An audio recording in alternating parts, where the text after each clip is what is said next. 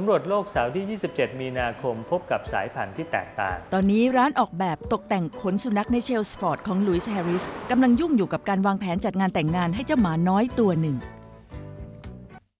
ตอนนี้ที่เราคิดจะทำก็คือจัดงานแต่งงานที่ยิ่งใหญ่ที่สุดสำหรับน้องหมาเท่าที่เคยมีกันมาเลยละค่ะ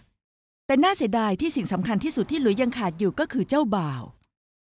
ฉันอยากได้น้องหมาตัวผู้ที่เข้ากันได้ดีจริง ๆ แบบที่ใครๆก็เล่นด้วยได้ ที่จะไม่ถูกกัดนะคะ ที่นี่เป็นร้านของฉัน มันเป็นบ้านของฉัน ที่ใครๆก็จะเข้ามาชมได้ทั้งนั้น ที่จริงแล้วฉันอยากจะแต่งงานกับโคค่านะคะ ถ้าหากว่าฉันเป็นน้องหมาตัวผู้ แต่เผอิญฉันไม่ได้เป็น ที่จริงแล้วมันน่ารักมากนะคะ อาจจะซุกซนไปหน่อย นอกจากนั้นแล้วมันก็เป็นเด็กดีมากเลยล่ะ ใคร ๆ ก็อยากจะแต่งงานกับทายาทสาวสวยแบบนี้